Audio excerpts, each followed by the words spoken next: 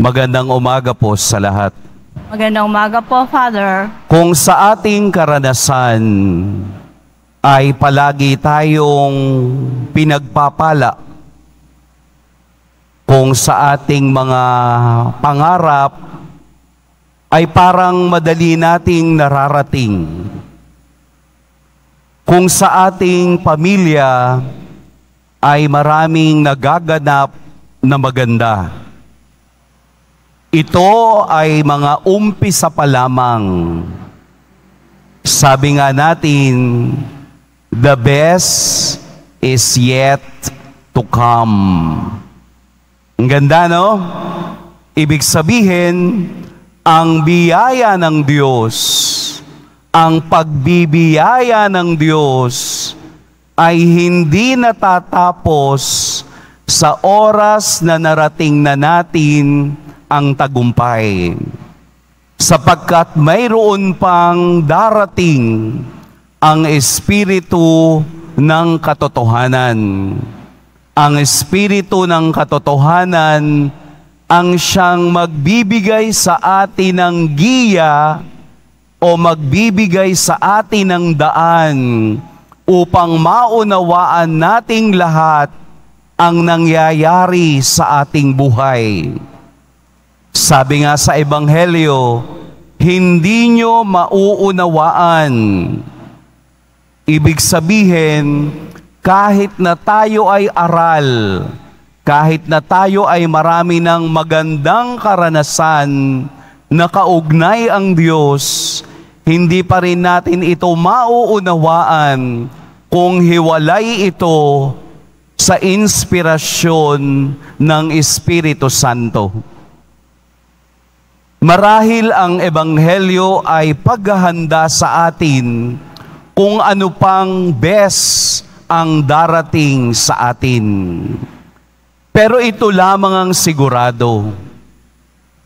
Ang mga taong nakaugnay sa Diyos sa pamamagitan ng Espiritu Santo na siyang Espiritu ng katotohanan ay taong nagpapasalamat at hindi tao na humuhusga. Tayo ba ay taong nagpapasalamat o taong nanunumbat? Kasi dito na pag-iiba kung anong klasing kristyano tayo sa harapan ng Diyos. Kapag maganda ang nangyayari, kapag palaging tumutugma sa ating pangarap at isipan, tayo ay nagpapasalamat. Pero bakit kapag hindi na maganda at may konting problema, nag-uumpisa na tayong manumbat. Hindi ito ang espiritu ng katotohanan. Ang espiritu ng katotohanan ay gumagalaw sa tama at nagtatama ng mali upang maunawaan natin na ang paglalakbay is yet to come, hindi pa kumpleto tayo ay nagpapatuloy. Tayo ay nagpapatuloy sa paglalakbay upang makamit natin bilang Kristiyano ang kabanalan ng buhay. Sapagkat hindi nakaangkop sa makamundong batayan ang kasiyahan ng tao. Ang kasiyahan natin ay magiging kumpleto kung tayo'y nasa piling na ng Diyos sa kaniyang kaharian.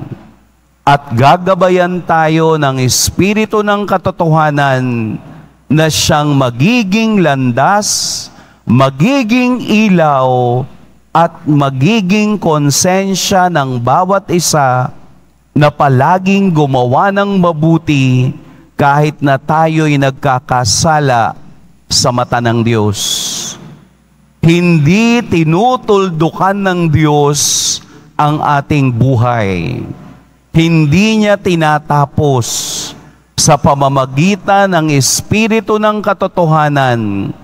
Matututo tayo makikita natin na ang tunay na ligaya at ang tunay na saya ay sa Diyos lamang pala tunay na makikita.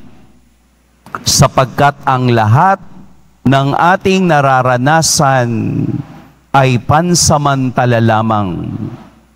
Ang tunay na forever ay nasa Diyos sa kalangitan. Pagpalain tayo ng poong may kapal.